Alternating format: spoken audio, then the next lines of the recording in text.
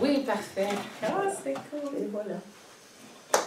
Bienvenue à revuemagilie.com pour le volume 10. Je suis en agréable compagnie, Madame Joanne Flansbury, qui est connue, entre autres, pour sa magnifique plume angélique. Bonjour, Joanne. Bonjour. J'aime le volume 10. 10, un chiffre très chanceux pour moi. Ah oui?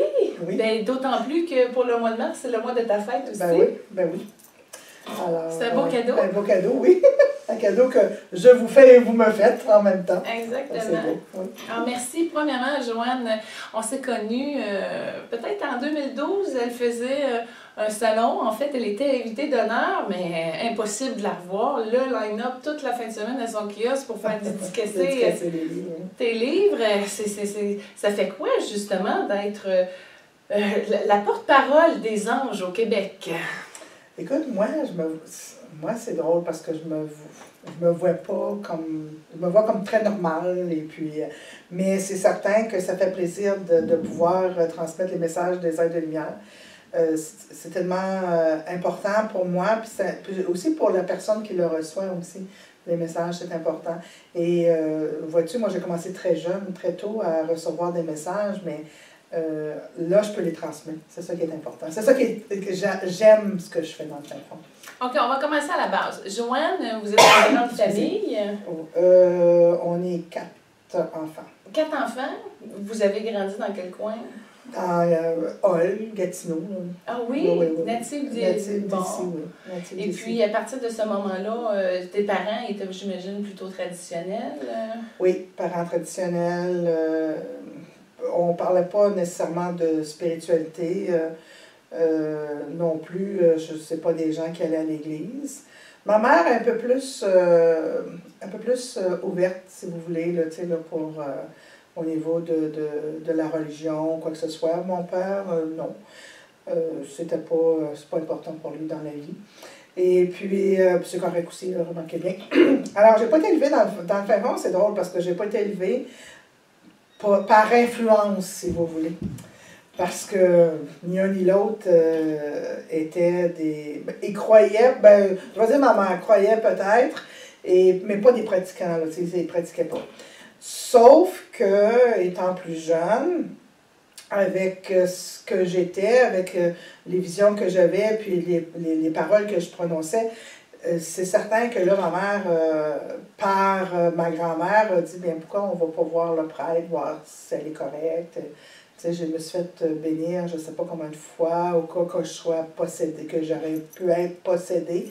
Mais euh, je, je dis tout le temps, j'étais tellement belle, étant jeune. Puis c'était pas rien de grave, c'est juste que j'étais différente. Je voyais les ailes de lumière, puis je leur parlais, puis je disais ça à ma mère. Que... Mais eux, c'est sûr, dans, dans ces années-là, même si ça fait pas si longtemps que ça, c'était pas aussi ouvert que c'est aujourd'hui, par exemple. Bon, t'avais quel âge quand tu as eu ton premier contact avec euh, l'autre côté? Euh, premièrement, c'est ma mère qui me, ra- qui me dit qu'à l'âge de 3 ans, euh, j'ai failli me noyer. Et puis, moi, la seule chose que je me souviens, parce qu'il y avait un genre de. On appelait ça une carrière, là, sais, bon. Euh, je me suis retrouvée là, je ne m'en souviens pas pour quelle raison je m'étais retrouvée là, mais je me souviens juste que j'ai vu une dame, était belle, toute en remplie de lumière, j'ai à peu près ça, 3 ans ou 4 ans. Et euh, ma mère, quand elle m'a retrouvée, parce qu'elle elle me cherchait, et euh, là, je lui ai parlé de cette dame-là, puis tout ça. Puis ma mère, elle, a dit qu'elle a essayé, elle a cogné de porte en porte pour essayer de remercier cette dame-là, pour, pour que je pas tombé dans l'eau. Puis euh, je me souviens qu'elle me dit Reste ici, ta maman s'en vient. Alors, euh, je m'en viens chez ta maman, puis reste ici. Mais tu sais, euh, fait que moi, j'ai resté assise sagement en entendant ma maman. Mais elle était tellement belle, cette dame-là, donc j'ai écouté ce qu'elle a dit. Et puis ma mère est arrivée, puis là, j'ai expliqué tout ça, puis bon. Et puis ma mère, c'est ça, elle a voulu aller remercier cette dame-là, puis elle l'a jamais, jamais. Euh, c'est comme, il n'y a pas personne qui avait vu, qui a vu quoi que ce soit. Fait que ça, ça l'avait un petit peu dérangé, si tu veux. Et puis après ça, je lui disais que je la revoyais, puis qu'il y avait des amis avec elle, et puis, euh, tu sais, là, fait que ça a commencé dans ces âges-là. Wow, c'est super! Ouais, ouais. Mais là, euh, c'était des ailes de lumière, c'était pas nécessairement des anges, Euh, euh, Moi, ils se sont toujours nommés comme étant des aides de lumière. Mais avec le temps, je me suis dit, c'est là que je les, ai associés en tant qu'anges. Euh, mais ils se sont toujours dit, on est des êtres de lumière. J'ai grandi avec eux en étant des êtres de lumière. Fait que c'est sûr que là, à ce je dis ce sont des êtres, des anges, mais j'ai de la difficulté parce que pour moi, j'ai toujours, ça a toujours été des êtres de lumière. Mais que oui, ce sont des anges ou des archanges.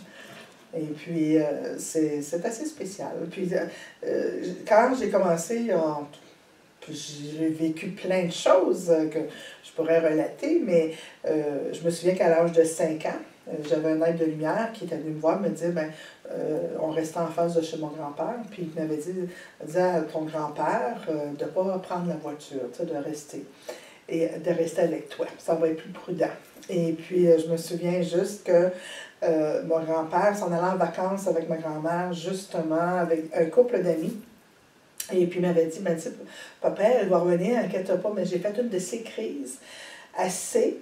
Euh, parce que quand il partait le matin, puis je disais non, puis je disais qu'il était pour avoir euh, des, des, douleurs au visage, je disais, moi, je disais en, langage d'enfant, des bobos, papa, des bobos, c'est pas beau, en tout cas, là, je, je voulais vraiment pas qu'il parte. Et euh, là, euh, mon grand-père, comme j'étais vraiment la sienne, fait qu'il me dit, il dit, il dit à ma grand-mère, il dit, bon, bien, regarde, on va partir sur l'heure du souper quand elle va, euh, qu'elle dorme, puis on, partira. Et puis, c'est sûr que ma grand-mère, elle m'a peut-être pas aimé à ce moment-là, ni ma mère qui disait à mon père, va-t'en, on va là. Puis moi, c'était, non, c'était, épouvantable, la crise que j'ai faite. Alors, et le couple a parti. Et euh, mon grand-père il a attendu euh, que le veille, ben, le soir, que je dorme. Mais entre-temps, ils ont reçu un appel téléphonique que ce couple-là était arrivé à un grave accident. Il était rentré dans une grosse vanne, je pense. Et si mon, grand-père avait été euh, assis où est-ce qu'il aurait dû être assis, je pense pas qu'il aurait été vivant. Il, il, serait mort. Parce que je me souviens pas. Écoutez, je pense que la dame est morte sur le coup, mais pas son partenaire, celui qui conduisait. Fait que c'est sûr que c'était ça aurait été mon grand-père. Je me souviens pas si elle est décédée ou pas, mais je, me souviens juste du fait que j'ai évité à mon grand-père de, de vivre euh, peut-être euh, un accident. On me l'a donné, peut-être c'était un cadeau qu'on m'a fait aussi, parce que c'était peut-être dans son, dans son plan de vie, puis on a peut-être dit non, regarde, on va, la, lui laisser encore un petit bout. Mais ça, je me souviens de ça. Et puis mon grand-père m'en parlait souvent. Puis euh, mon grand-père disait tout le temps à ma grand-mère, puis à mes deux grand-mères parce qu'ils se connaissaient, puis à ma mère, tu sais. Il disait tout le temps indifférente, ma petite. Laissez-la donc tranquille. Parce que c'est sûr, à chaque fois qu'il y avait un événement comme ça, ben, on allait voir le prêtre, voir qu'est-ce que le prêtre disait, qu'est-ce que ça pouvait causer. Ça c'était juste que, bon, j'avais cette euh, intuition-là très forte, puis j'avais ce euh, privilège de jaser avec eux, donc euh, je les aidais. Puis même ma mère euh, par la suite, euh, plus tard, là, quand, quand, elle a vu que j'étais spéciale, euh, même j'ai fait elle-même, elle avait un accident. Et puis, ben, avant que ça l'arrive, je l'ai appelé à un moment donné, je dis, moi j'appelle ma mère mère, ben, maman ou mère. quand tu vas arriver, je dis, mère, je ne sais pas ce qui va t'arriver, mais sors pas de ta voiture. Il va peut-être avoir un petit accident, il va peut-être frapper un arbre, mais sors pas de ta voiture, je n'inquiète pas. Te, je pense que j'avais deux ou trois ans. Trois ans, je vais être là, ils vont te protéger. Tu vas juste avoir mal à la main. Mais là, ma mère, arrête de me dire ça. Là, genre, arrête. Je dis, maman, je t'avertis, tu sais, comme, fais attention à toi. Puis elle n'aimait pas ça. Puis c'est certain qu'on n'aime pas ça, là, parce que. Et effectivement, ma mère est arrivée à un accident, elle a descendu en bas d'une côte et puis euh, c'était glissant, fait qu'elle s'est en allée, il y a un poteau, elle est rentrée dans le poteau, mais il y a des fils électriques qui ont tombé. Et si elle aurait sorti de la voiture, elle serait électrocutée. Donc, elle, elle a pensé à moi de ce que j'avais dit. Et elle est restée dans la voiture, puis elle n'a rien eu, sauf euh, quelques petites douleurs à la main. Donc, euh, là, dans ce temps-là, me remercie. fait il y a plusieurs petites affaires, petites anecdotes comme ça qui est arrivée euh, par rapport à des situations que j'ai reçu un message ou que les anges vont me dire, ben garde, rentre-toi en boutique, il y a une personne qui a besoin de toi. Fait que, OK, je me rends en boutique, puis j'attends, puis effectivement, il y a tout le temps euh, un, événement, une situation qui arrive et que la personne a besoin de moi. Fait que ça, ça a toujours, euh, Ça a toujours fait partie de moi. La seule chose, des fois, je dis tout le temps, j'aimerais ça des fois rester. Parce que tu sais, des fois, tu es à la maison, tu es tranquille, tu es relax, tu regardes un bon film. Puis tu, tu, dis, bon, d'un tu as un air de lumière qui dit, Joanne, va à la boutique ou va à tel endroit, il y a quelqu'un qui a besoin de toi, peux-tu, s'il te plaît? Fait que c'est ça que c'est un messager. un messager, ça n'a pas d'heure ni de temps. Ça, on le fait quand, que, quand on me le demande. Je vais, je vais aux endroits qui me demandent. Puis souvent, bien, quand j'arrive là, euh, il y a toujours un événement qui. Euh, ça a-tu toujours été ouvert ou te refermé à un moment donné? Euh, c'est certain quand tu arrives dans l'adolescence, euh, puis que tu es différente des autres, euh, puis tu veux pas être folle, puis tu veux pas passer pour folle, tu veux pas non plus être possédé du démon, fait que tu essaies de, de, de, dire, bon, bon, ok, c'est dans mon imagination, il faut que j'arrête ça. Mais ces êtres-là sont tellement réels, tu les vois, tu les ressens, ils viennent te jaser. Là, tu dis non, non. Là, tu essaies de camoufler ça, mais c'est parce que tu as en même temps, euh, c'est comme si tu les camoufles ou si tu décides que non, tu veux rien avoir à faire avec eux. C'est un manque en dedans aussi. C'est comme une séparation. C'est comme. Je ne peux pas t'expliquer, mais comme j'en ai besoin. C'est quelque chose que je pouvais pas ne pas m'en passer. J'ai les ai boudés, OK, peut-être pendant un certain temps. Euh, je les boude des fois de temps à autre, mais moins à ce temps parce que j'ai acquis une sagesse, mais euh, étant plus jeune, c'est ça, c'est normal. Après ça, tu comprends euh, certaines choses. Mais c'est qu'on peut pas. Tu peux pas les enlever, ça fait partie de toi, je pense. C'est comme.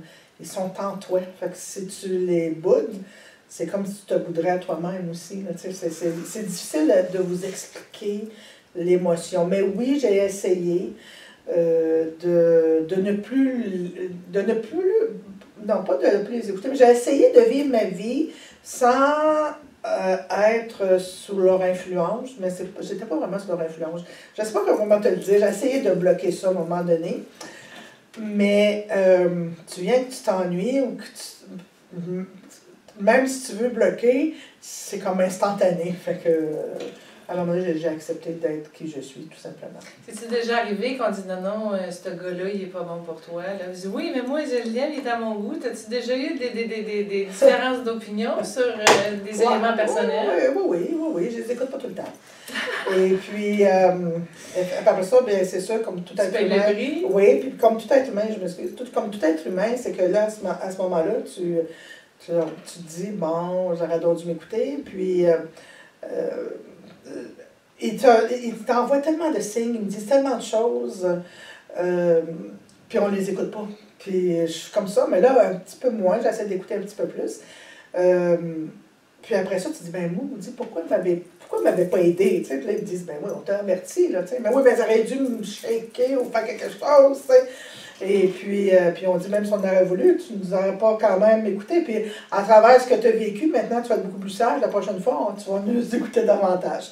Euh, mais ça arrive, je pense qu'on est tous, euh, on a tous cette, à l'intérieur de soi, on a tous aussi cette demande-là. Souvent, c'est notre ressenti qui va dire fais pas telle affaire, telle chose, puis on le fait quand même. Après ça, on se dit j'aurais donc dû m'écouter. Moi, j'ai cet avantage-là qui me le montrent puis qui me disent non, non, va pas là, là. Oublie pas, là, va pas là. Mais peut-être dur c'est normal. Est-ce que euh, tout ce que tu fais résulte de cette collaboration-là? Avec, euh, oui, parce que je, je, me, je, me, dis, avec tout ce que je fais, les écrits, tu sais, j'avais, l'âge de 12 ans euh, quand ils m'ont dit j'écrirais sur eux. Je pense que ça fait partie de mon plan de vie. J'ai, j'ai peut-être décidé de devenir, d'aider sur Terre, être le messager. Euh, pour aider les gens, parce que je sais que les livres font du bien. Euh, puis, euh, grâce à eux, je pense qu'on parvient à comprendre un peu plus les mystères de l'au-delà. J'aimerais tant pouvoir dire aux gens, j'aimerais tant que les gens puissent voir aussi les lettres de lumière. Je leur ai demandé pourquoi vous n'allez pas voir les gens? Il y a certaines personnes qui ont le privilège de les voir. Il y en a d'autres moins. C'est juste que ça pourrait déranger. il y a des gens qui ont peur. Puis il y a des gens qui. Euh, ça pourrait déranger aussi leur santé mentale. Euh, il y a plusieurs euh, situations. En même temps, Il faut aussi euh, vivre, moi, c'est ce qu'on m'a toujours dit, par contre, les anges de lumière m'ont toujours dit, euh, malgré que je suis très spirituelle ou avec eux, faut toujours que je garde les deux pieds sur terre. Ça, c'est bien, bien important. Et ils me disent tout le temps, on veut que vous soyez quand même en équilibre avec notre lumière, puis en équilibre avec votre côté humain. Donc, vous devez toujours garder les deux pieds sur terre, même si vous êtes en contact avec nous, même si vous avez des privilèges, même si on vous parle, même si on vient vous voir, même si on fait plein de choses, vous devez rester en équilibre. Puis je pense que c'est pour ça qu'ils choisissent aussi leurs messagers. Tu sais, j'ai été choisie, euh, ça fait longtemps, euh, c'est parce qu'il y a des critères, ils ont vraiment des bons critères. On peut pas être un message, on peut être un messager dans le sens qu'on on reçoit des messages. Oui, on peut être, euh, les gens, quand ils ont une belle spiritualité, peuvent transmettre aussi de très bons messages. Moi, j'ai le privilège de canaliser. Euh, mais canaliser, c'est pas tout le monde qui a ce privilège-là, parce que c'est pas. Euh, ils choisissent, je pense qu'ils choisissent leur monde. Ils veulent vraiment s'assurer que les gens ne l'utilisent pas en tant que pouvoir, mais en tant qu'aide. Et puis, moi, c'est ça aussi, on me dit tout le temps euh, de, de, garder aussi euh, l'humilité à travers de ce que je suis. Parce qu'ils disent que si un jour je deviens trop, euh, je sais pas trop, chercher à avoir le pouvoir ou je ne sais pas trop, je pense pas que je, je pense qu'ils m'enlèveraient ce privilège-là, si on veut. Là, parce que c'est ça qui est très, très, très important. C'est de rester humble à travers, à travers les cadeaux que je reçois d'eux, en fin de compte. Ça fait quoi euh, d'accoucher, puis euh, là, tu es dans la douleur extrême et tout ça, puis là, tu es accompagné, puis là, tu vois, dans le fond, l'aide physique, puis l'aide. Tu sais, c'est parce que dans le fond, à un moment donné, euh, ça, ça, doit être plus puissant. Ton accouchement doit mieux se passer parce que tu es accompagné, non? pas vraiment, parce que à la première accouchement, ça a été très difficile. j'ai dû, euh, je pense qu'on m'a dit qu'on voulait me garder sur Terre parce que, en principe, on, ne savait pas si on pouvait euh, sauver l'enfant ni moi.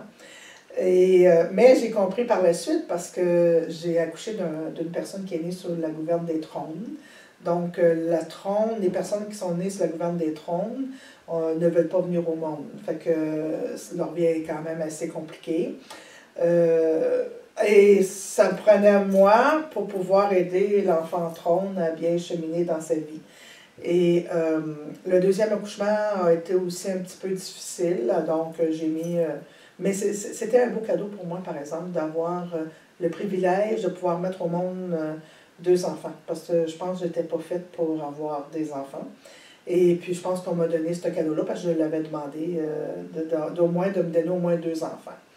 Et puis, euh, ce qui est drôle à travers tout ça, mais tu sais, à la deuxième grossesse, euh, sachant que j'avais une grossesse très compliquée, le médecin ne voulait pas que j'en ai un deuxième.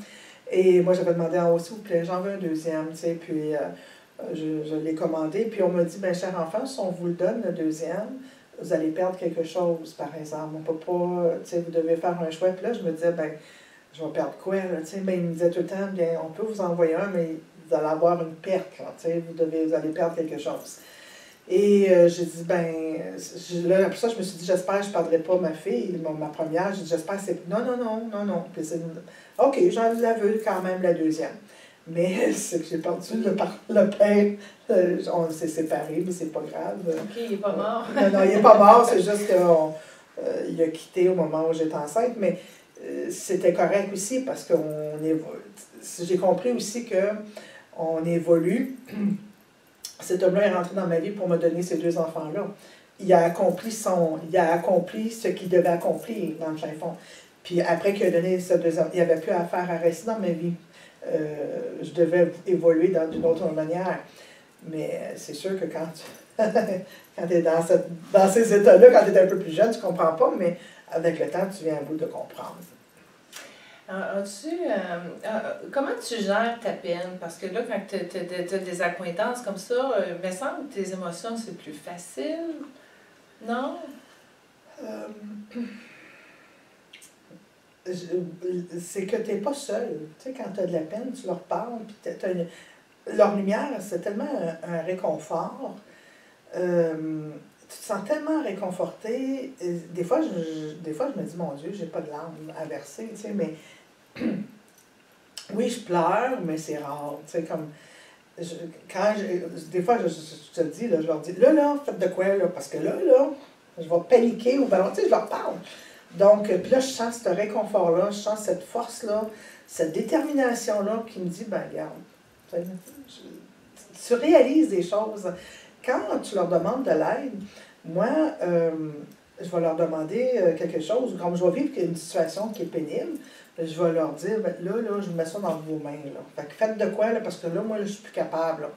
Et dans l'espace de peu, j'ai une force, j'ai plein d'idées, j'ai la solution, tu sais, comme, là, je leur dis, OK, d'abord, je vais faire ça de cette manière Donc, tu sais, c'est tu te sens comme appuyé dans ce que tu veux faire. Fait que c'est, sûr que j'ai des grosses peines. J'ai comme quand, mon grand-père est décédé, j'étais quand même très jeune, puis c'était mon mentor. Euh, c'était très, très, très difficile, mais euh, en même temps, euh, on dirait que le- leur réconfort, il, fait qu'ils, euh, pas qu'ils camouflent, parce que Ça guérisse. ça, ouais, c'est ça.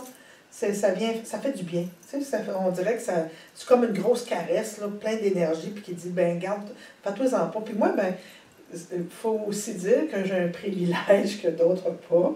C'est que quand tu perds quelqu'un, tu sais, je suis capable d'aller communiquer quand même avec eux de l'autre côté. Donc, euh, j'ai ce petit privilège-là.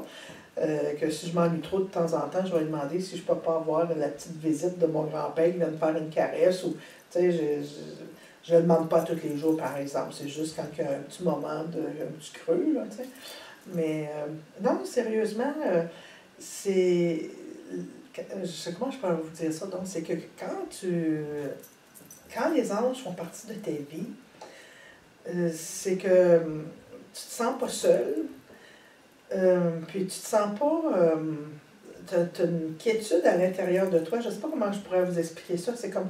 Moi, je peux être seule chez moi, là, puis je m'ennuie pas. Tu sais, parce que je sais, je ne suis, pas- je suis pas toute seule. Comprenez-vous? Puis, je- comme la peine. Je, je peux pas dire j'en ai. J'en ai de la peine. J'ai eu de la peine. Mais je peux pas dire que c'est. Elle reste pas. Je sais pas si vous comprenez. Oui, tu sais, oui. J'accroche, j'arrête pas là-dessus parce que je me dis, ça me fera pas évoluer si je reste dans la peine. Il faut que je reste dans, dans le pardon ou dans.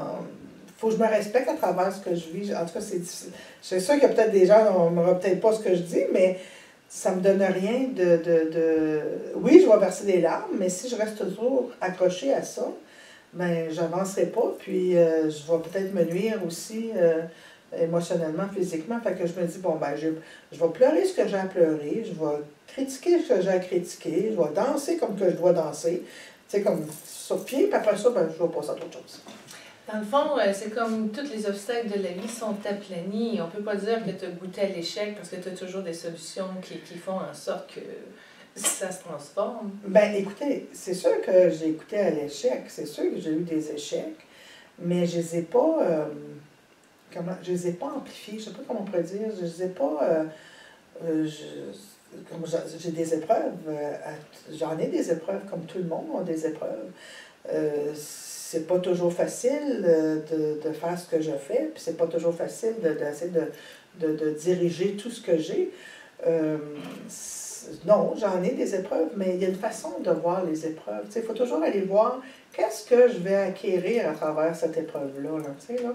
Et puis, euh, et généralement, j'essaie de ne pas rester dans cette énergie-là. Tu sais, je sais pas, je sais pas, ben, je pense que tu, dois avoir vécu des épreuves toi aussi. Puis c'est qu'à un moment donné, c'est que si tu restes trop là-dedans, c'est que ça devient comme. ça devient lourd à supporter. Puis c'est pas que je vais pas y faire face. Je fais toujours face à mes épreuves. J'essaie de trouver la meilleure des solutions. Puis je me dis que ben, si ça, ça fonctionne pas, puis qu'à quelque part, je peux plus rien faire, mais c'est quoi, pourquoi je resterais là? Alors, je continue. Alors, c'est un peu. euh, J'apprends à lâcher prise sur des situations où ce que je trouve que je perds mon temps ou bien euh, ça ne me rapporte rien. Alors, c'est un petit peu ça.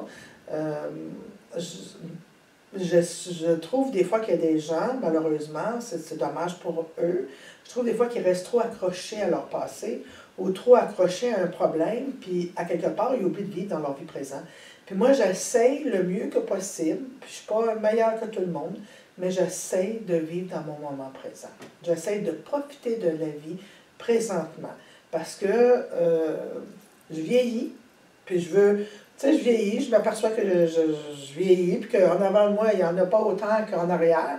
Puis je veux profiter du temps que j'ai en avant de moi. Si j'ai le goût de faire quelque chose, je le fais. Si j'ai le goût de rien faire, je ne fais rien. J'apprends à respecter l'être que je suis. C'est pas facile, mais c'est la meilleure. Je trouve que. Je pense que j'ai donné beaucoup, j'en donne encore, mais de temps en autre, j'aime ça aussi me gâter on, voit euh, facilement que Joanne n'a pas terminé d'écrire et c'est quelque chose qui va fonctionner. Moi, en tout cas, je vois 20 ans facile. Euh, ton canal, il est en action, puis ça doit être un besoin, une souhait d'écrire. Comment ça marche? Écoute, euh, tantôt, je, suis allée me faire dolleter, je suis allée me faire chaque fois ça. Et puis j'étais assis pour me sécher les cheveux, puis là, tout d'un coup, les anges sont venus voir Joanne là, tu vas, dans le prochain livre, tu vas expliquer telle, telle affaire. Fait que là, dans ce temps-là, il faut que je prenne mon téléphone, puis là, je note. Parce que là, là, là, elle me dit, la professeure, ben, tu fais quoi? Alors, quand les archanges te parlent ou les anges te parlent, il faut que tu notes, tu sais, là, parce que, où je vais m'enregistrer. Donc, un canal ouvert comme moi, c'est que tu reçois des messages, euh, on ne sait pas quelle heure, on ne sait pas quand ils vont arriver, mais il faut que tu sois prête quand ils arrivent. ouais. euh, généralement, euh, alors, fait c'est sûr que mon canal, il est tout le temps en action. Euh, je vais écrire parce que j'ai beaucoup de choses à dire, j'ai beaucoup de choses à, à montrer aux gens. J'aimerais aussi que les livres soient aussi disponibles euh, autant en français qu'en anglais. Oui. Ça, c'est la prochaine étape. Euh, de, on a commencé à les traduire, tout ça. Et je vais les offrir pour le monde, pour les personnes anglophones. Le seul problème, c'est que je parle pas vraiment. Je, je comprends très bien l'anglais. Je vais les lire, mais pour parler, je. Pourtant, on pense que Flansbury, c'est bilingue. Oui, Flansbury, c'est écossais. OK. Écossais. Euh, et puis, euh, oubliez ça. Euh, mon père, je pense qu'il a oublié de nous parler. ben, ma mère était. Je pense que c'est beaucoup la mère. Hein? Si la mère est, francophone, bien, elle va vraiment te parler en français. Et puis, quand mes filles, moi aussi j'ai parlé en français à mes filles, mais je leur faisais aussi écouter euh, des émissions en anglais. Je disais tout le temps à mes filles, essayez au moins d'apprendre l'anglais parce que c'est vraiment une langue importante. Et puis, euh, que mes filles m'ont écouté, ils parlent les deux en anglais, ils ont, aussi euh, un peu d'espagnol, puis j'en ai une qui a un peu de mandarin. Alors ça, c'est une langue qui était très difficile, est allée à Beijing pour aller apprendre le mandarin. Mais en fin de compte, tout ça pour vous dire que mes deux petits-fils parlent couramment anglais. Ça a un qui a 10 ans et l'autre euh, 7 ans, ça parle, des fois il me parle en grand-maman, puis me parle en anglais. Je dis, oh, wow, j'aurais-tu aimé ça, moi, être comme eux. Puis pourtant, ma, ma, ma fille parle, ben, parle les deux langues, elle leur parle deux langues, mais je pense qu'avec tous les jeux qu'ils ont aujourd'hui, les, jeux vidéo, je pense que tout en anglais. Fait mais c'est un peu ça, j'aimerais ça aussi, euh, avoir touché plusieurs personnes avec les livres en plusieurs langues, mais ça, c'est notre histoire. Bon, on va, tant qu'à parler des livres, là, c'est parce que j'ai des grosses piles ici. Joanne, écoute, c'est-tu tes premiers livres? La Bible des anges, tome 1, tome 2. Est-ce que ce sont tes premiers livres? Oui, la Bible des anges. Ça, ça a été un succès, on s'entend dessus. Écoute, euh, la Bible des anges, je ne sais pas, on est rendu à combien de. C'est pas du 150 000, si c'est pas plus.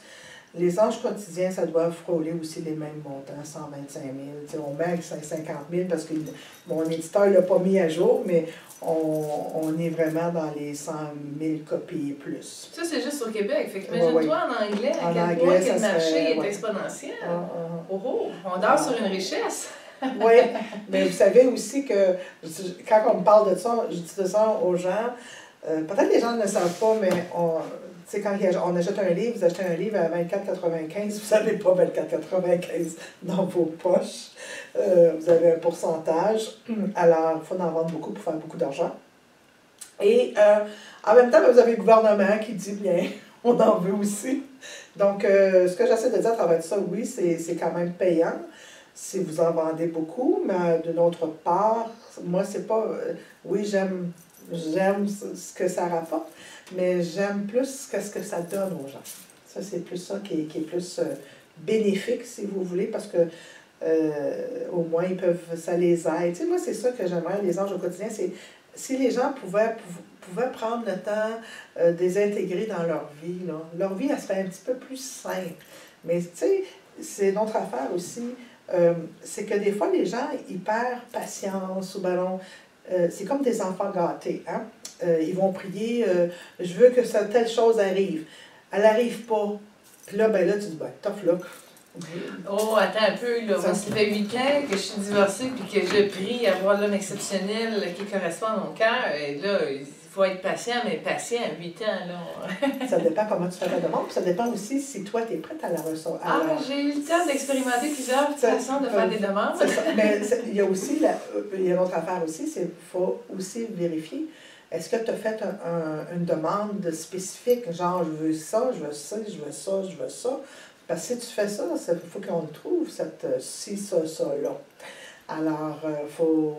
Moi, tout le temps, quand, au sujet de l'amour, pour pas compliquer les choses, vous lui dites envoyez-moi le partenaire idéal pour moi, qui n'a rien dans sa vie qui va me déranger, puis qui n'a rien dans la mienne qui va le déranger. Alors, dans ce temps-là, Alléluia, dans ce temps-là, vous avez plus de chances à rencontrer la personne qui vous. la personne en, fin de compte euh, qui vous convient. Mais ça, c'est notre affaire, vois-tu, c'est que souvent la personne va prier, elle n'a pas exactement ce qu'elle veut. Et puis là, après ça, on va dire ça ne fonctionne pas, puis je mets ça au rencard. Mais après ça, euh, vous les boudez, puis c'est correct. Mais après ça, mais donnez-vous le temps aussi. Si vous n'avez jamais prié les anges, puis vous ne savez pas qui ils sont, ben vous les avez un petit peu mis au rencard, vous les avez boudés, mais eux, il faut qu'ils faut qu'ils viennent, puis il faut qu'ils vérifient avec vous, ben est-ce qu'elle est honnête dans sa demande? Est-ce que c'est ce qu'elle veut vraiment? Toi, dans ton cas, on me dit que, parce que toi, tu Oui, ça vient dans mon era, merci. Oui, on vient de me dire, c'est que euh, il t'envoie des opportunités, des occasions, mais tu ne vas pas tout le temps. Donc, euh, tu as peut-être vu des gens qui ont rentré ou des gens qui t'ont invité à aller à des endroits, puis tu n'as pas décidé que non, je n'irai pas là parce que ça ne me tente pas. Alors, euh, tu, des fois, tu fermes la porte aux opportunités. Ça fait que c'est pour ça que ça prend du temps. Mais tu sais, à un moment donné, quand tu te déplaces tout le temps pour rien, là, tu sais. Ben, c'est ça. Peut-être que la prochaine. il n'y en a pas beaucoup des opportunités, mais là, je vais les prendre toutes. Oui, oui. oui exactement. Mais moi, c'est drôle, hein? Je te dirais, euh, ben, je, oh, ne peux pas te dire ça parce que. Oui, vas-y, vas-y. Mais je te dirais plus 2021. Je sais, c'est loin. Non, ben, regarde, ça fait 8 ans, 10 ans. Bon, ça moi, là. Mais 2021, tu vas être vraiment en amour par-dessus sa tête. C'est pas que tu ne vas pas rencontrer avant. C'est juste que, même si tu rencontrerais en ce moment, je pense que tu as un temps tellement. Tu es tellement. Euh, quand je dis éparpillé, c'est pas négativement, OK? Mais tu bouges tellement, tu plus, tu toutes sortes d'énergie qui se promènent du tout bord, du côté. Ça, ça, ça serait difficile pour un homme de rentrer dans ta vie. Parce que à quelle place tu placerais cet homme-là dans ta vie? Dans mon cœur, en tout cas. Dans ton cœur, mais il faut que tu lui donnes du temps aussi. Euh, mais je te dirais qu'au cours de cette année, tu vas commencer justement à apprendre à mettre les choses en place, à, trouver un équilibre à travers tout ce que tu fais. Qui fait que quand l'année 2020 va rentrer dans ta vie, bien, tu vas être beaucoup plus prêt à recevoir. Je sais, même si tu dis 8 ans, c'est juste que je ne suis pas certaine que ça aurait été complètement prête. OK? Mais tu vas l'être euh, en 2021. Ben merci, c'est un petit réconfort. Au moins, le cycle va se briser à un moment donné. Oui, mais c'est parce que souvent, les gens, surtout dans le domaine de l'amour, plusieurs personnes, euh, des femmes ou des hommes qui vont faire des demandes, euh, souvent, c'est ça que, souvent, ben, justement, il y a pas, ils ont des opportunités, il n'y a pas, ben, donc, ils font des rencontres. Mais il y a tout le temps, on le sait à l'intérieur de soi quand il faut sortir, quand il ne faut pas. Mais oui, quand ça ne veut pas, quand ça ne veut pas, c'est ça. C'est ça, tu sais.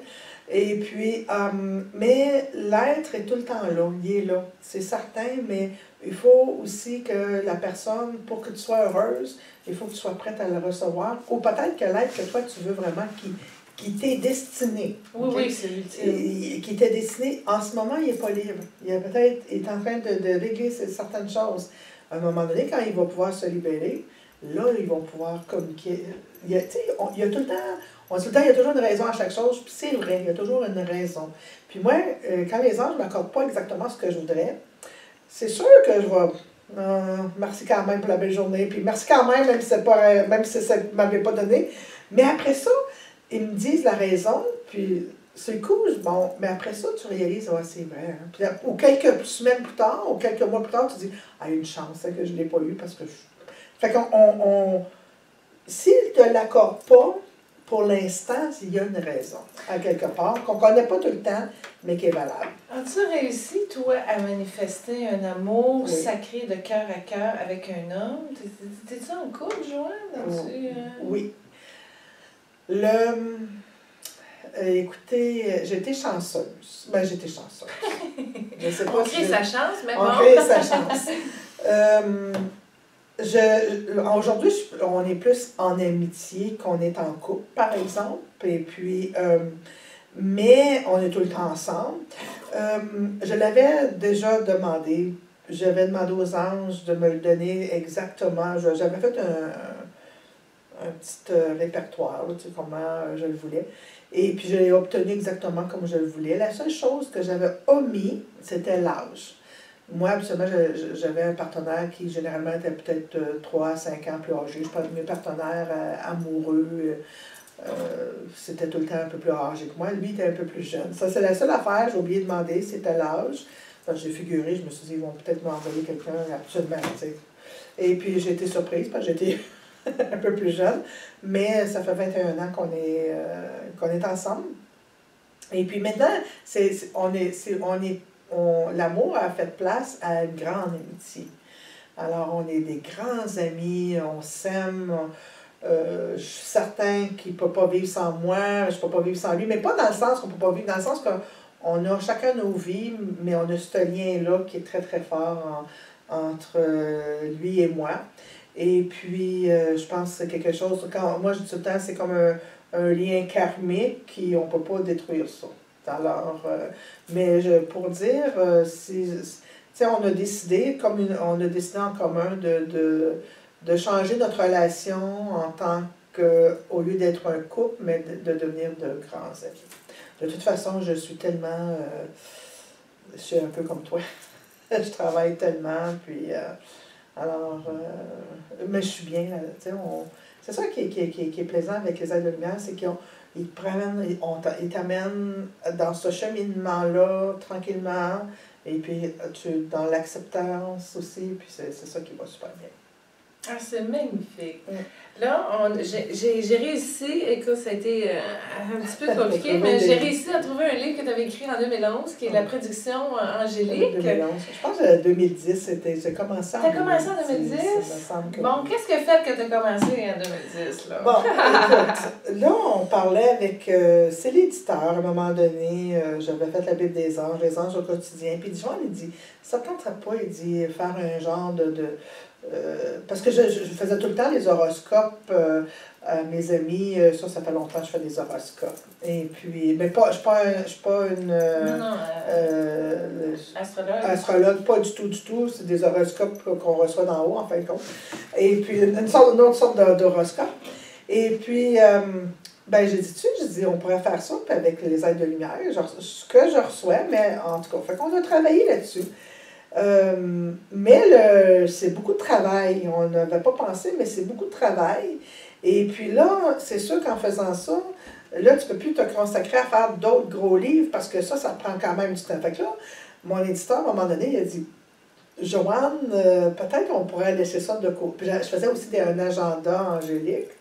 Fait que ça, ça faisait deux gros travails. Fait qu'il dit ben peut-être qu'on pourrait laisser ça de côté. Puis j'ai dit Alain, tu, tu me demandes pas ça, là les gens, tu pensais aux gens. S'il fallait qu'on décide d'arrêter ça, oublie ça. Oublie ça, les gens, ils t'aimeront pas. Et puis là, il disait, il est trop épais, fallait moins épais. Fait que c'est ça là, l'année du 2019 que tu as ici. Regarde oui. l'épaisseur. Et fait comme là, ça, on prend celui, maintenant de 2016. OK. Mais tu sais, on a toujours quelque chose. Parce qu'il dit tout le temps, Joanne, arrête. Tu sais, t'es trop épais. Mais oui, mais c'est parce que j'ai tellement de choses à dire.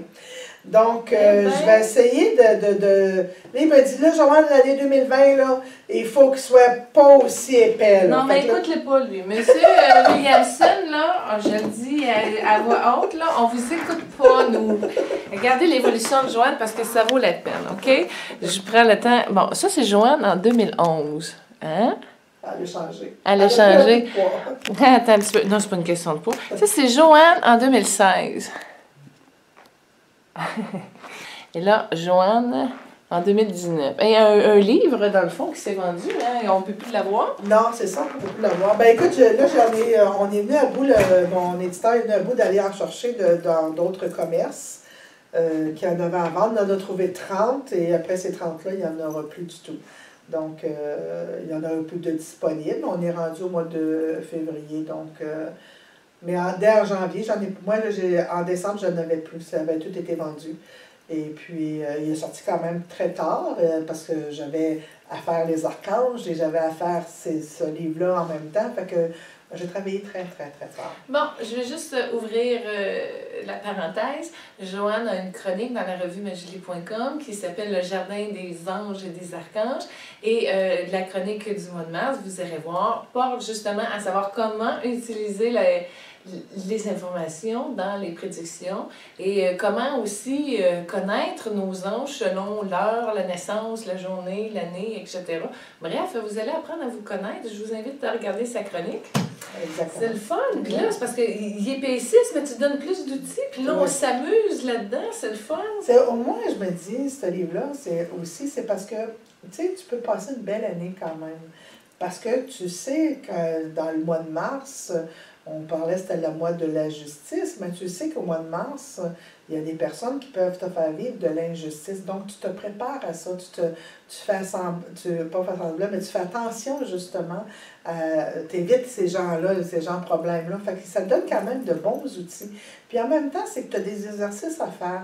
Et puis ces exercices-là vont t'amener justement vers la fin de l'année à bien mener ton année, puis vers la fin de l'année à réaliser que, oh, les anges ont été là, parce que, oh, les anges t'ont vraiment aidé dans tout ce que tu as écrit. Euh, alors, c'est pour ça. Puis moi, comme euh, il y a aussi, euh, je donne des cours sur les anges, en fin de fond, puis mes élèves, je leur fais tout le temps des exercices, puis ça, c'est, écoute, c'est, extraordinaire de voir, ils, regardent leur devoir, parce qu'ils me disent, hey, Joanne, c'est arrivé, c'est arrivé, c'est arrivé. Ben oui, il faut le demander. Si vous ne demandez jamais rien, ils ne viendront pas. Bon, là, toi, là, en parlant d'exercices, là, tu t'en as sorti beaucoup, beaucoup avec ton livre des archanges. C'est que des exercices, c'est que des prières. Mais là, ma question est, euh, toi, là, tu n'as pas fait ça, puis tu étais bien connecté? Écoute, moi, c'est certain que pour faire le livre des archanges, je me suis levée très tôt le matin. J'avais pas le choix. C'était à 3h30 que les archanges viennent te parler. Euh, en 3h, le, mon canal était peut-être disponible. Ou leur canal, euh, je sais pas, il était disponible à me parler à moi entre 3h30 euh, jusqu'à 5h ou 6h le matin. Jusqu'à ce que je sois. Bon, on, ils nous envoient tout ça, j'emmagasine, j'écris. Et puis après ça, on, corrige la, la, la tournure des phrases parce que des fois, leurs phrases sont un peu différentes de, de notre façon à nous, de la compréhension.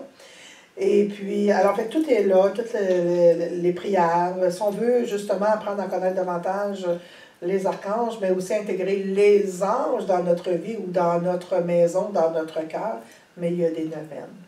C'est très, très important de les faire. Puis quand on, on va les chercher, hein, on dit, bon, ben, je le ramène, puis on le ramène dans, notre cœur. Puis juste faire ce geste-là aussi, ça nous fait du bien.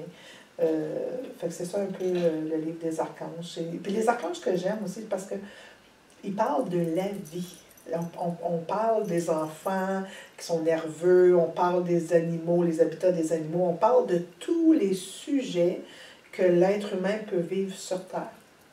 Ça, euh, c'est un petit livre magique. Euh, je- moi, toutes les personnes qui ont travaillé avec ce livre-là, j'en connais plusieurs.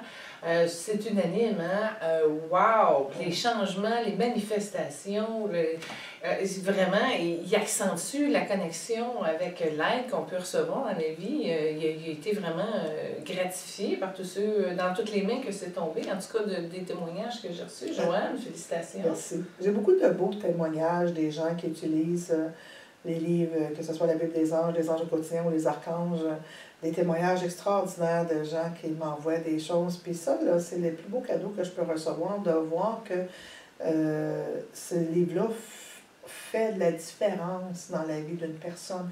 Puis tu sais, euh, comme je disais tantôt, si tu vis une période difficile de ta vie, puis que ce livre-là te tombe sur la main, c'est parce que tu en as besoin. Puis peut-être que tu vas le garder pour un mois, tu vas peut-être le garder pour deux mois, peut-être pour un an ou peut-être pour dix ans. Mais le temps que tu vas l'avoir avec toi, il va t'aider. Et puis quand tu n'auras plus besoin du livre de les anges, tu le mets de côté, puis peut-être dans dix ans plus tard, tu vas peut-être dire et où ce livre-là? Il m'avait fait du bien. Fait que tu vas revenir au bercail puis tu vas relire le livre. Fait que c'est ça un peu dans le fin fond, c'est que les êtres de lumière, ils nous abandonnent jamais. C'est nous qui les abandonnons la plupart du temps. Et puis, euh, c'est sûr que si ça fait 5-6 ans, tu n'y as pas parlé, mais je vous dirais, quand vous faites une demande, bien, attendez un petit peu avant d'avoir le résultat. Hein? C'est normal. Mais à part de ça, euh, puis s'ils ne vous accordent pas exactement ce que vous avez demandé, c'est pas parce qu'ils ne vous aiment pas, c'est pas parce qu'ils ne nous ont pas écouté, c'est juste que pour le moment où ce que vous demandez, peut-être la formule que vous faites n'est pas nécessairement bonne, ou ce que vous demandez n'est pas nécessairement dans ton, dans ton plan. Alors ne vous découragez jamais, parce qu'il va peut-être Généralement, l'ange, euh, que vous priez l'ange euh, ou l'être quelconque, généralement, s'il ne peut pas vous envoyer exactement ce que toi tu demandes, il envoie tout le temps un substitut qui parfois est meilleur. Fait qu'au lieu d'avoir un amoureux, tu as un fuck friend, c'est ça? ben, ça pourrait être ça ah! aussi, remarque bien. Tu peux avoir un, ami euh, de lit, comme on appelle.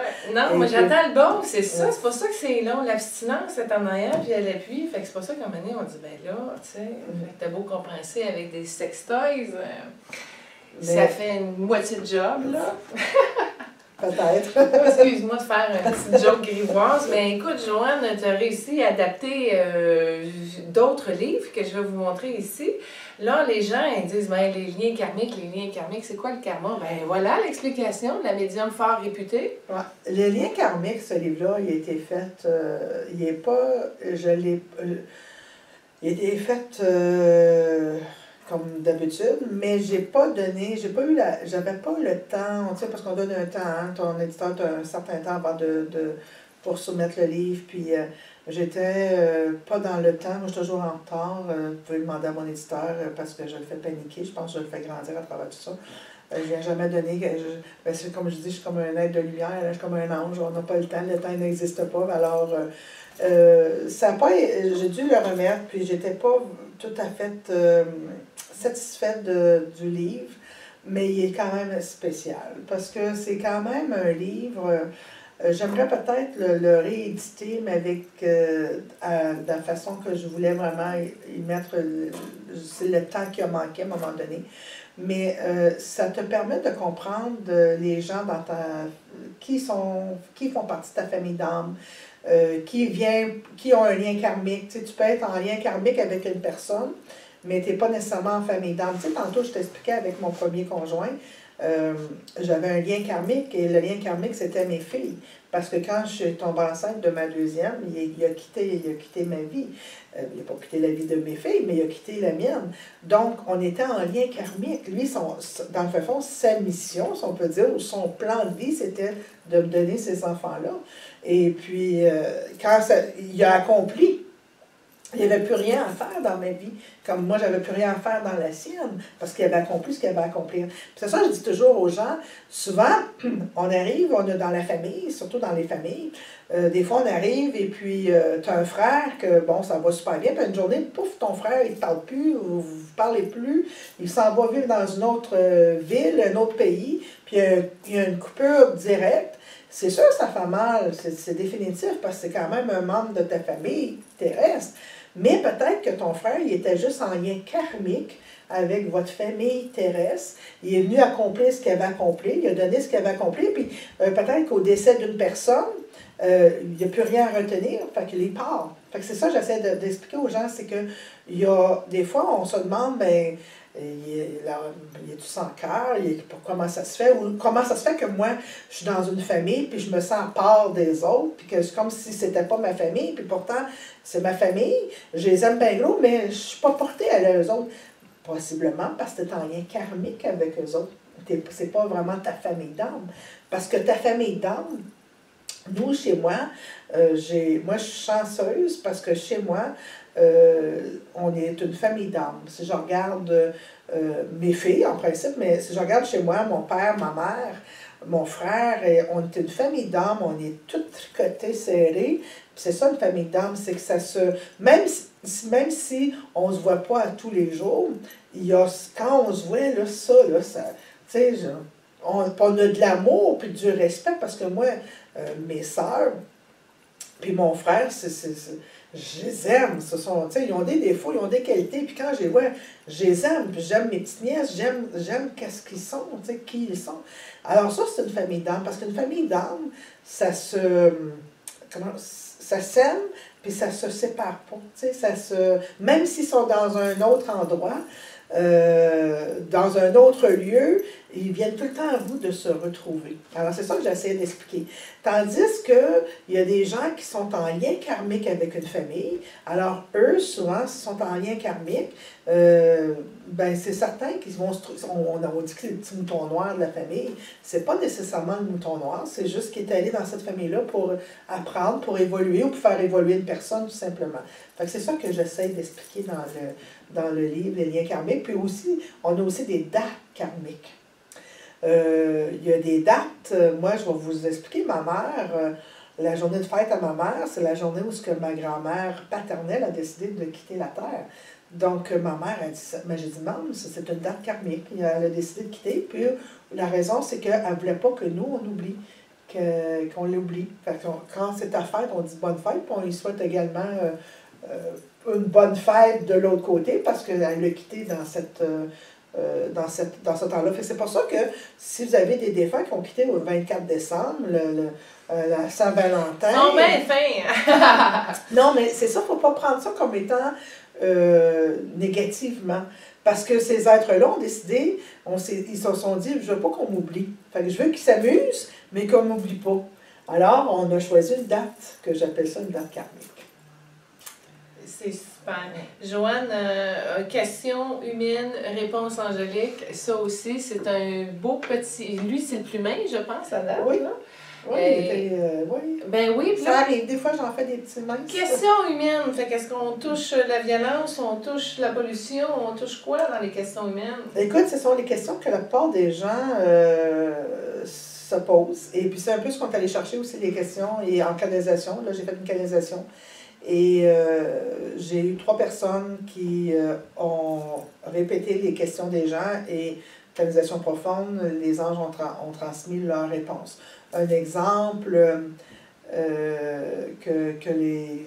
Comme on parle. si un choix noir passe en avant de ma voiture, est-ce que c'est ça, ça, ça, nous dit, ça nous annonce la mauvaise, un mauvais temps ou une mauvaise mauvaise euh, situation. Euh, si, admettons, euh, on ouvre un parapluie dans la maison, si on brise un miroir, sais, toutes sortes de questions que l'être humain se posait, à savoir qu'est-ce que ça a un impact. Est-ce que, oh oui, il y a une question aussi en particulier qu'une dame avait posée, c'est si l'enfant n'est pas baptisé qu'il décède, est-ce que ça va dans les? Parce que vous savez, dans les temps d'avant, et les anges ont la réponse que les anges ont dit. Ils ont dit qu'un enfant de Dieu demeure un enfant de Dieu, baptisé ou pas, c'est un enfant de Dieu. Le baptême, c'est la religion, c'est l'être humain qui a décidé euh, de, de, de, mettre ça sur, sur terre, de, de bâtir cette, euh, cette religion-là, mais ça n'a pas rapport avec eux en haut. Fait que tu es un enfant de Dieu et tu restes un enfant de Dieu. Jusqu'à quel âge qu'on est des enfants de Dieu? À 80 ans, on est encore des on enfants est toujours, de Dieu. Oui, on est des enfants de Dieu tout au long de ta du, de, au moment de ta naissance au moment de ta mort. La seule chose, ça dépend de ce que tu fais avec ta vie, par exemple. Tu sais, ça se peut fort bien si tu euh, t'en vas dans d'autres directions, mais euh, ça se peut que tu aies mis un peu Dieu de côté. Euh, et c'est certain que quand tu décèdes, on parle aussi, tu sais, le décès. Qu'est-ce qui arrive si tu te suicides? Qu'est-ce qui arrive? Mais dans les archanges aussi, on en parle du suicide. c'est toutes des questions que les gens euh, se posent euh, euh, des questions là, de la vie. comment eux perçoivent ça. Les anges, ah oui. Alors, une question qui serait peut-être importante aussi, c'est que Moi, j'ai peint les anges. J'ai peint l'ange Poël, j'ai peint l'ange Seiya. Bon. Laquelle image représente l'ange? OK? Si on est 10 artistes, on demande à 10 artistes peigner l'ange Seiya. Toutes les 10 ont une image différente. Laquelle est la meilleure? Et l'ange répond, c'est, sont toutes bonnes parce que vous l'avez peint avec votre cœur.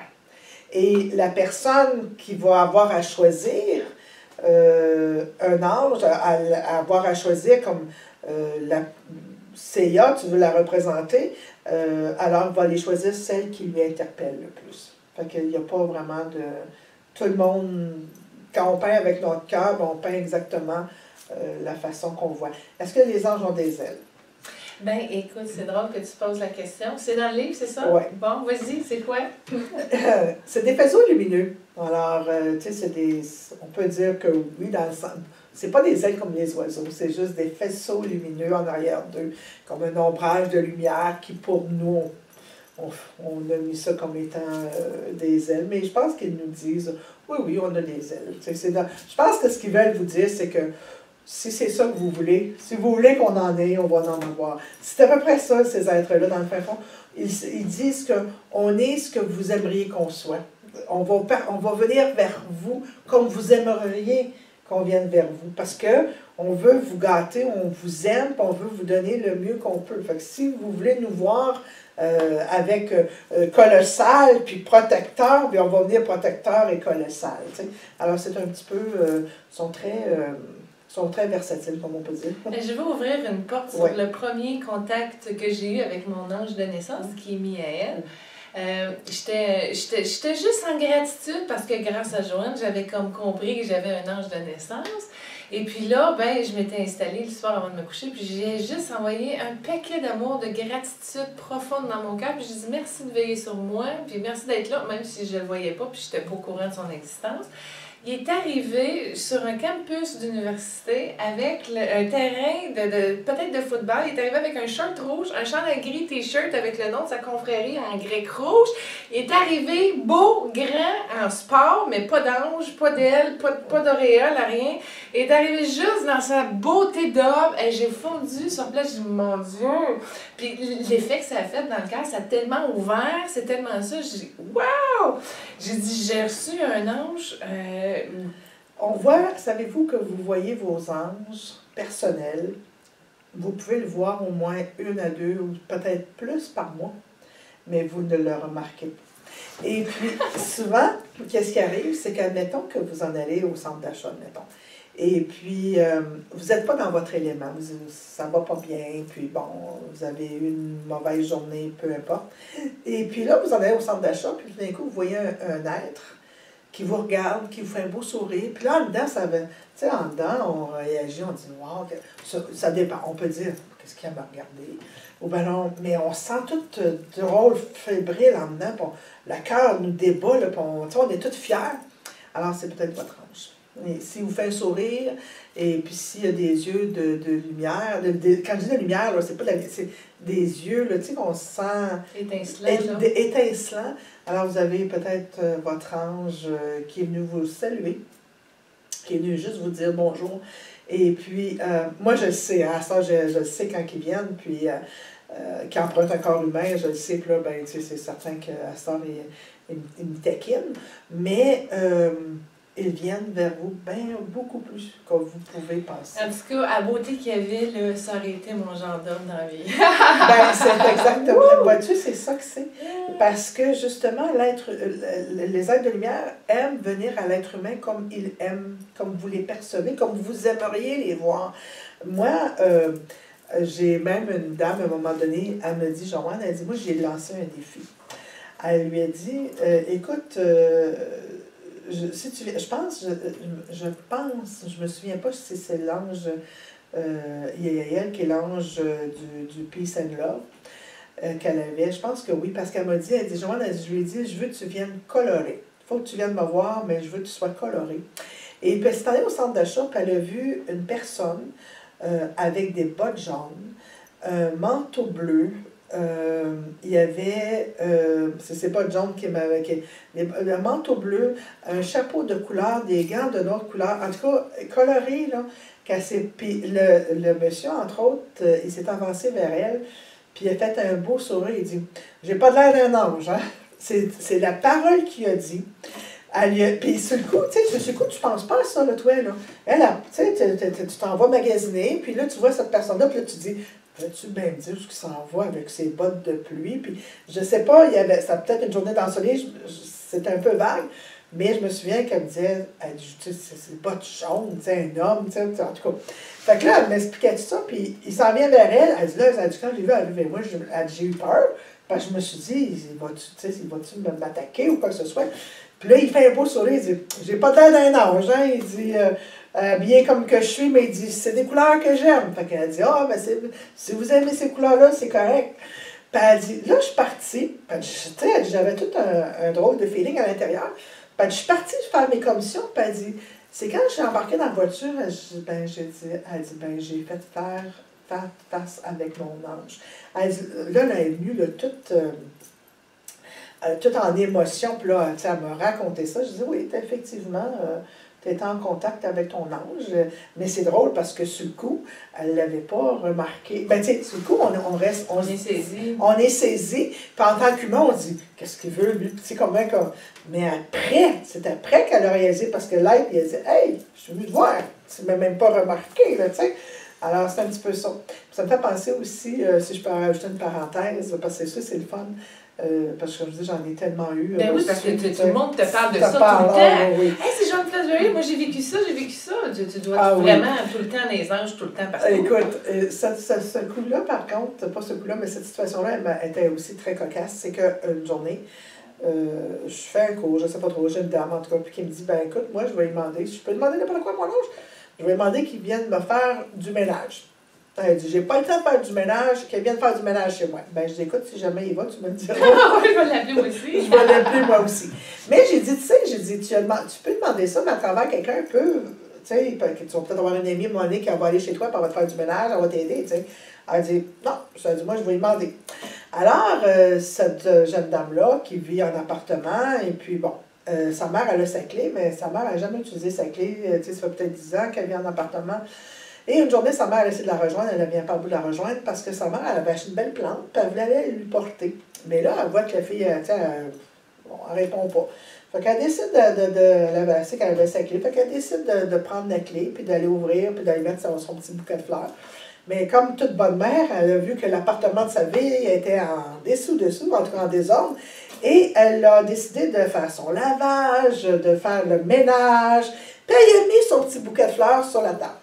Moi, ce qui est drôle, c'est que je reçois vers 6 heures un appel téléphonique de cette femme-là au téléphone. J'aurais aimé que vous J'aurais aimé l'enregistrer parce que c'était trop. la dame, le, le ménage, qui avait demandé le ménage. Euh, un cri au téléphone, j'ai de la difficulté à comprendre ce qu'elle me dit. Puis là, elle me dit, puis elle pleure, puis elle rit, elle crie, ils ont fait le ménage. Puis là, j'ai dit, ben voyons. Fait j'ai dit, ben écoute, j'ai dit, ça se pourrait que il y a quelqu'un qui Non, Joanne, il n'y a pas personne, je suis seule. Personne n'a ma clé parce qu'elle ne se souvient pas qu'elle a laissé la clé à sa mère. Puis elle en plus, m'ont même donné bouquet de fleurs. j'ai dit, oh, ils sont gentils en plus. Ça fait que, ben, j'ai dit, j'ai dit, c'est peut-être quelqu'un, elle a dit, non, non. Puis là, tu sais, en tout cas, fait qu'elle, là, elle a vraiment, elle a été en extase. Mais à 6h30, elle m'appelle pour me dire, oh, le soir, c'est ma mère. Mais j'ai dit, non, non, faut pas que tu prennes ça comme ça. C'est une demande que tu as faite et ils ont donné la suggestion à ta mère. Ils ont utilisé ta mère pour pouvoir réaliser ton signe. Et c'est elle, grâce à ta mère, mais grâce aux aides de lumière, parce que je suis certaine que si tu n'avais pas demandé ce signe-là, ta mère ne serait jamais allée par rapport au goût de t'envoyer un bouquet. Elle dit, elle dit écoute, c'est vraiment pas des habitudes de ma mère, elle n'a jamais utilisé la clé. Alors j'ai dit, ils ont répondu à travers ta mère, ils ont répondu à ton signe. Mais tu sais, elle n'avait pas la même elle n'était pas aussi excitée que la première fois qu'elle était au téléphone, mais quand même. C'est juste. magique. C'était là, ils ont même donné. utilisé tout le monde, je pense. ben, c'est l'ange. Savez-vous que l'ange numéro 15, l'ange Ariel, c'est un ange. Euh, qu'on peut évoquer. Moi et Ariel, des fois, on dit tout le temps qu'on ne fait pas toujours bon ménage. C'est parce que Ariel, c'est un ange qui donne justement l'envie de faire du ménage. Alors, si vous êtes fatigué puis que vous devez faire du ménage puis vous n'avez pas le goût d'en faire, ben, vous pouvez demander à Ariel. Et puis, avec Ariel, tout ce qui n'est pas bon, euh, qui nuit dans votre. euh, comme si vous avez beaucoup de vêtements puis que vous ne portez plus ces vêtements-là. euh, si vous demandez à Ariel, ça va être plus facile pour vous de les jeter ou de les donner que de les garder, que de les conserver. Alors, mais moi et Ariel aussi, c'est un âge qu'on peut aussi prier pour si on veut perdre du poids. Euh, puis je vais vous dire, il est fantastique parce que moi j'avais demandé pour les chips, j'en mange. J'aime pas les chips comme j'aimais les chips déjà. J'en mange encore. Mais euh, il n'y en a qu'une seule sorte, puis je t'avais depuis les aimer. Mais je je vous dis, c'est extraordinaire l'aide qu'ils peuvent apporter. Sauf qu'il faut les écouter. Tu sais, comme euh, je les écoute pas tout le temps non plus. là. Ben, il faut vivre. hein. Ouais, c'est ça. C'est ça. Joanne, deux petits livres de poche dans ta collection. Je vais les rapprocher. Ceux-là sont plus petits, puis je vais vous les montrer après. Alors, euh, l'argent, oups, là, l'argent et l'amour, des petits livres de poche. Mais ça, c'est des soins angéliques pour Oui, aider la réparation de l'amour et de l'argent? Écoute, ça, c'était un autre, petit c'est un autre encore éditeur qui avait ça. Ça serait le fun de faire des petits livres comme ça, avec des, petites, euh, des petits titres et quoi que ce soit. Mais à un moment donné, c'est que ça en fait beaucoup hein, à écrire. Et puis, on avait pensé à l'argent, l'amour, la santé, le travail. En tout cas, j'aurais dû faire d'autres collections, une petite collection qu'on voulait faire. Donc, avec le temps, euh, à un moment donné, quand tu as beaucoup avec la boutique et tout le reste, fait qu'à un moment donné, j'ai de l'écriture. Il faut que je prenne aussi le temps pour écrire parce que ça c'était quand même exigeant. Mais euh, l'amour, c'était vraiment un livre qui peut justement qui, qui aide les personnes euh, qui veulent rencontrer l'amour. Mais l'amour, c'est aussi l'amour de soi, l'amour. euh, on parle beaucoup d'amour dans, dans le livre de l'amour, évidemment. Puis l'argent, ben, c'est aussi un sujet qui, tu sais, on parle de si vous voulez vendre votre maison, euh, si vous voulez acheter une maison, euh, si vous voulez attirer vos 649, tout ce qui est dans le fond dans le monde de, de l'argent monétaire. Tu l'utilises-tu pour toi? T'as-tu, euh, tu t'es-tu déjà manifesté un million? Euh, J'aimerais bien ça. Avec tes livres en anglais, peut-être. Euh, Peut-être. Euh, sérieusement, euh, oui, je leur demande tout le temps de venir m'aider financièrement parce qu'on a toujours besoin, surtout quand on a une boutique, on a des choses à, à, à voir. Et puis, euh, on, il, arrive tout le temps un montant, il arrive tout le temps quelque chose dans un bon moment. Tu sais, on dirait qu'il m'aide. euh, je peux pas, je peux pas le. J'aimerais avoir un million, c'est certain que je leur ai demandé, puis je sais que je vais l'avoir, je sais pas quand, mais je sais que je vais l'avoir. Ils m'ont dit d'être patiente. Fait que je suis patiente. Euh, à un moment donné, un événement va survenir, puis j'aurai ce million-là. Et puis, euh, je veux que je veux en profiter. Fait que je dis de me le donner avant. assez Avant la prochaine incarnation. Avant la prochaine incarnation. Euh, mais tu sais, des fois, c'est pas. tout le monde rêve d'avoir un million, puis je pense qu'on est tous pareils, mais je pense que l'important pour moi, c'est d'être en santé, pour pouvoir continuer justement à donner euh, autant de- d'informations au sujet d'eux. Puis euh, de bien vivre, tu sais, de vivre, de se gâter, tout ça, parce que j'en connais des gens qui ont beaucoup d'argent, puis ça ne veut pas nécessairement dire qu'ils sont, sont sont, sont, Ah, Joanne, ça fait deux fois que tu parles de ta boutique. Il y a une femme d'affaires qui, euh, qui est ici. là. Tu as une boutique euh, ésotérique, si on veut dire? Ben, c'est une boutique cadeau, euh, oui, ésotérique, jusqu'à un certain point parce que je j'ai pas aucune. euh, j'ai pas rien qui peut faire de la magie noire. Euh, Je me tiens loin de ça. Je Mais euh, non, on peut retrouver Des pierres, des chandelles, oui, des chandelles. Tout pour aider l'être humain dans le fond, dans son évolution. Euh, puis aussi, euh, tu sais, comme si on parle de, de, de la médecine alternative, euh, les pierres, ça en est, tout ça. Alors, oui, j'ai, des, des, on peut aussi avoir de la musique, des bols de cristal, des cartes, des livres, des lampes de sel. non, c'est un, on est, j'essaie de, de, des anges surtout, hein, on ne va pas oublier les Mais tu anges. t'es levé un matin et tu dis, tiens, non, je pars à ma boutique? Euh, pas vraiment. Moi, dans le fond, euh, je, déjà, je tirais aux cartes. Je tire aux cartes longtemps. Je recevais des gens à la maison. Puis une journée, mes filles m'ont dit Maman, on est tanné, tout du monde à la maison. Puis ça, ben, j'ai dit Tiens, je vais me louer un petit local. Et puis, je voulais l'enseigner. J'avais le goût d'enseigner le tarot. Puis je me suis dit J'aimerais ça aussi, tu sais, comme j'ai beaucoup de connaissances, puis j'aimerais ça aussi, aussi montrer mes connaissances, les propager à d'autres personnes qui pourraient les utiliser. Et il y avait un petit restaurant pas loin de ce que je demeure, un centre d'achat, puis il y avait un petit restaurant. Puis j'ai demandé à la dame si je pouvais louer euh, deux soirs par semaine. Ben moi, probablement, je pensais que c'était un soir. Et puis, euh, c'est vrai que c'est trois. j'ai- eu tellement de groupes que j'en ai loué trois fois par, euh, par semaine pour de telle heure à telle heure. Fait qu'elle m'a dit oui. Fait qu'on avait commencé comme ça.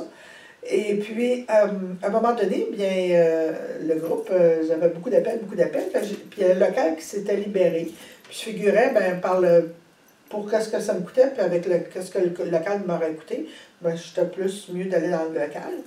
Et puis là, ben, j'ai commencé là, le petit local. Puis les gens commençaient à dire ça serait le fun si on pouvait acheter des toits, des pierres, c'est pas normal. Et j'avais divisé le local, j'avais un tout petit magasin. J'avais, je pense que mon magasin n'était pas plus grand que ça ici, dans la salle. Puis j'avais divisé, en tout cas, un bord ma salle, puis l'autre bord le magasin. Et puis, euh, mais là, tu rentres des choses, tu rentres des choses, puis là, ben, tranquillement, puis là, tranquillement, puis là, ce que tu sais, ben, euh, là, tu agrandis le magasin, là, tu prends l'autre local à côté, là, tu fais la salle de l'autre côté, tu fais des bureaux, et ça commence. Ça s'en va comme ça, ça l'a comme aller en, en montant, mais c'est plus tu montes, plus c'est plus c'est de la responsabilité. C'est du stress aussi, hein? C'est beaucoup de stress. C'est là que j'ai pris du poids. tout le temps. C'est pas les grossesses qui m'ont fait euh, causer le poids, c'est le, d'être en affaires. Parce que tu faut tu vois à tout. Puis, tu sais, quand tu es en affaires, ben, c'est 7 jours sur 7, là. T'es pas, euh, pas de... C'est comme, euh, c'est comme avoir des enfants, tu sais. Les enfants, tu les as 24 heures sur 24 toute ta vie. Fait qu'en affaires, ben, c'est 7 jours sur 7, et puis, euh, OK, tu c'est pas 24 heures, mais il faut que tu t'occupes. Si un employé qui ne rentre pas, bien, il faut que tu t'occupes de la remplacer. Euh, ben, j'ai une équipe formidable, par exemple. J'ai ma petite soeur quand même avec moi qui, fait, qui, est extraordinaire. Puis j'ai des employés aussi extraordinaires. Fait que c'est ça qui est le fun. Fait qu'au moins, on s'entraide. Et puis, euh, mais c'est quand même quand même lourd. Tu sais, que pour moi, il faut que je m'occupe de la boutique, les employés aussi, les achats, c'est moi qui fais les achats. Et puis maintenant, après ça, il faut que tu t'occupes d'écrire. Euh, faut que tu t'occupes de. Je fais des cours, je fais des ateliers, puis je suis grand-maman. Fait que, tu sais, euh, fait que j'essaie de. de tu n'as pas parlé de consultation, tu fais plus de consultation? De consultation seule à seule, privée, non, malheureusement. Puis je trouve ça, je sais que beaucoup de gens sont très, très déçus. Écoute, dernièrement, une personne m'a offert 1000 pour que je puisse la prendre. Puis c'est pas question d'argent, c'est juste question de temps. Euh, puis même si je l'aurais pris, je, pense que je n'irais pas. Je, je, pas, c'est pas ça qui est mon. C'est juste qu'à un moment donné, il faut trouver les. Euh, je le peut-être un jour quand je vais devenir plus vieille puis que j'aurai plus la boutique. Si j'avais plus la Je pense qu'en n'ayant plus la boutique, que si un jour je l'ai plus, ben ça, va, ça me donnerait plus de liberté de pouvoir retourner à faire des cartes. Mais je veux enseigner, je veux, je veux me promener aussi. Je veux juste que je veux que cet enseignement-là puisse être un peu plus. Tu sais, là, je suis dans Gatineau, mais j'aimerais ça faire plusieurs villes de Québec euh, pour pouvoir donner mon enseignement. Donc, mais avec la boutique, je suis un petit peu retenue comme. Joanne, moi, quand je t'ai approchée en 2012, là, c'était mon souhait de cœur. J'aurais vraiment, vraiment euh, désiré véhiculer aux jeunes euh, d'autres choses que des super-héros Marvel et tout ça. Je dis, Joanne, pourquoi on n'écrit pas une émission pour enfants avec des anges? Ça aurait été tellement le fun de donner euh, des, des, des, repères. OK, tu te fais intimider, mais tu t'es l'ange, tu t'es l'ange qui est là pour t'aider. Pourquoi ça marche pas, ce projet-là? ça serait intéressant, ça serait un super un projet intéressant, mais je pense que qu'est-ce qui arrive aussi les, aujourd'hui, euh, à cause de certaines situations qui sont survenues, euh, je pense que les gens sont un peu plus, ben on parle du monde de la télévision par exemple, sont un peu plus euh, comment je pourrais dire ça, sévère au niveau de ces genres d'émissions, ne voulant pas trop euh, déranger, euh, parce que, tu sais, il y a eu des charlatans, et puis ça l'a comme peut-être nuit à l'image, donc il y a des endroits, je sais qu'il y a des endroits, on ne nommera aucun poste, mais il y a des endroits où est-ce que quand il est sujet de, de, d'ange ou de clairvoyance ou de peu importe, ils ne rentrent pas, ça rentre pas dans leurs critères. Mais oui, mais des films de vampires, puis let's go, des films d'horreur, puis appelle-t ça, on n'est même pas capable d'avoir... Euh, Je sais. C'est dommage parce que c'est certain que ça serait le fun d'avoir euh, une émission où est-ce qu'il y aurait des gens... Euh, une personne en particulier, ou tu sais, des, des, ben des fées, des personnes qui s'appellent comme des fées, puis un ange, tu sais, comme tel, pour, pour aider l'enfant. Tu sais, moi, j'aide beaucoup mes, mes petits-enfants, Et puis, je leur montre des petits trucs euh, avec le- les énergies, parce que j'ai des, des petits-enfants quand même très nerveux. C'est normal, ils jouent à, trop à- aux, ma- aux- aux- aux machines vidéo. Là.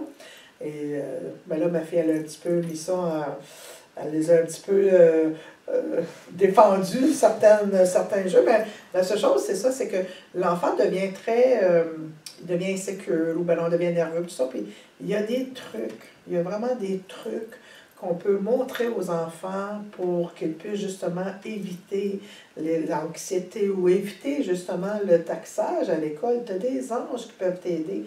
Puis, euh, écoute, euh, l'enfant, quand il se sent en sécurité, mais tu vois, à l'école, ce qui arrive, c'est qu'ils ont enlevé, il n'y a plus de, de. On parle plus de catéchèse, on parle plus de, de, de religion. Puis, je veux aussi que les gens comprennent, c'est que les anges, ce n'est pas une religion. Il a- c'est- c'est- la religion, c'est l'être humain qui l'a bâti, mais les êtres de lumière, ce sont des êtres qui sont là pour aider l'évolution humaine. Que tu, puis les anges, tout le temps, qu'importe ta religion, on est là. On est, tu sais, comme, on veut, on, on puis on dit tout le temps aussi, respecte aussi. Euh, si quelqu'un ne croit pas, respecte-le. Respecte-le dans, dans ce qu'il est. Un jour, peut-être, euh, il viendra vers nous. Mais s'il n'y croit pas, il n'y croit pas, puis il faut le respecter. Puis c'est un peu ça. Et puis je me dis, bien, à l'école, ça serait bien aussi. Puis même au niveau à l'école, c'est. Ma fille avait suggéré, puis de la respiration, montrer à l'enfant comment avoir juste avant de, de, de, de, lancer la matière, une matière quelconque, il devrait juste dire à l'enfant, OK, maintenant, on s'assoit, on prend trois bonnes respirations, tu sais, comment on, va chercher ça loin, puis on expire, tu sais, juste trois fois, juste ça va aider l'enfant à se calmer, puis à, être plus euh, conscient euh, devant la matière. Parce que l'enfant, il est toujours, bouge continuellement. Et puis là, tu arrives dans la matière, fait que là, comment veux-tu, la concentration, elle n'est pas tout le temps là. Mais si l'enfant prenait, si le professeur, il y a des professeurs qui le font, parce que je, je sais qu'il y a des professeurs qui viennent me voir, il y a des professeurs qui vont dire à l'enfant, mais il faut faire attention aussi, parce que des fois, les parents ne sont pas d'accord avec ça. Mais s'ils pouvaient montrer à l'enfant, juste à prendre une bonne respiration, puis tu lâches tout, puis c'est juste. C'est exactement. Fait que l'enfant, il, l'enfant, il a tellement de, de- d'énergie à l'intérieur de lui. Juste faire ce petit exercice-là va aider l'enfant à se concentrer et à écouter le professeur en avant. Que veux-tu? Joanne Flansbury, un gros merci infiniment pour euh, le partage de ta sagesse et culture, Angélique. C'est un honneur euh, Oh. d'avoir réussi à avoir Mhm. Joanne sur l'entrevue. C'est très généreux. Tu es Merci. très généreuse, Ah, Joanne. Tu as une belle humilité. Ah. Euh, sincèrement, bonne chance dans tout ce que tu entreprends. Euh, c'est magnifique. Continue. Euh, je sais qu'on est là et on attend que les prochains livres arrivent. Écoute, ben, je vous remercie aussi. Ben, je remercie aussi, si je peux juste terminer en disant merci à tous ceux, à tous mes lecteurs qui prennent le temps de lire et à tous mes lecteurs aussi qui croient en ce que je fais. Et puis vos paroles positives, c'est toujours, euh, c'est toujours bienvenu chez moi. Ah, l'évolution est toujours agréable. La critique aussi, je l'accepte. Parce qu'il y a aussi des fois avec la critique, euh, mais ça dépend de quelle façon que tu critiques quelque chose. Oui, si c'est neutre. C'est ça. Mais tu sais, une critique, on appelle ça constructive. Mais quand tu critiques, euh, quand tu lances des mots négatifs, puis c'est juste ça que tu lis, tu vois que la personne n'est pas dans sa lumière, ça, je balance ça. Je con- j'ai pas de compréhension pour ça, parce que je me dis non. Mais une personne qui va critiquer en disant, ben voici mon point de vue, ben je, je, vais dire, je vais le lire parce que je me dis, apprends au moins, tu sais, elle est honnête et elle va me dire exactement ce qu'elle n'aime pas. Et je vais souvent lui répondre en disant j'appuie ce que vous dites, mais de ma façon à moi, voici ce que moi je peux offrir. Alors, ça, ça ne me dérange pas. Mais une personne là, qui me dit euh, ben c'est rare, ça arrive, remarquez bien, là, mais je ne veux pas vous commencer à m'envoyer ça non plus. J'en veux pas de ça. Mais euh, une personne qui n'est jamais satisfaite de rien, puis qui est toujours en train de d'abaisser son prochain. Je trouve que c'est malheureux. Ben, c'est des jaloux qui ont pas C'est développé leur don. Hein? Exactement. Fait que compassion, compassion. Compassion, compassion. en tout cas, mais c'est ça. Moi, c'est ça. C'est important de dire merci aux, lecteurs parce que grâce à eux, ils propagent. Ben, ça lumière. évolue, Ça l'espèce évolue. évolue. Ben oui. Oui, parce que tu sais, juste le fait de lire le livre, tu as appris quelque chose, tu en parles à ton prochain, et moi, ce livre-là m'a aidé. Mais sans vous en rendre compte, vous devenez des messagers. Puis là, vous parlez, puis là, ça revient. Puis vous savez aussi que quand vous référez un livre ou que vous parlez, justement, ben, euh, les anges vous récompensent tout le temps. Ah! Oui. Wow! Ouais. Ben, en tout cas, je suis récompensée. J'ai eu mon entrevue. C'est bien. Merci, belle plaisir. 710 Maloney Est à Gatineau pour la boutique Le Jardin des Anges et des Archanges de Joanne. Vous voulez venir faire un tour? Bienvenue. Elle a un cœur grand, grand, grand, mais pas beaucoup de temps. Fait que bonne chance d'avoir une belle synchronicité. Merci, belle déesse. Merci. Ah, Voici la collection de Joanne avec une meilleure image. Ah, y en a-tu du temps là-dessus? Ici? Oh mon Dieu, je suis tellement. Hello!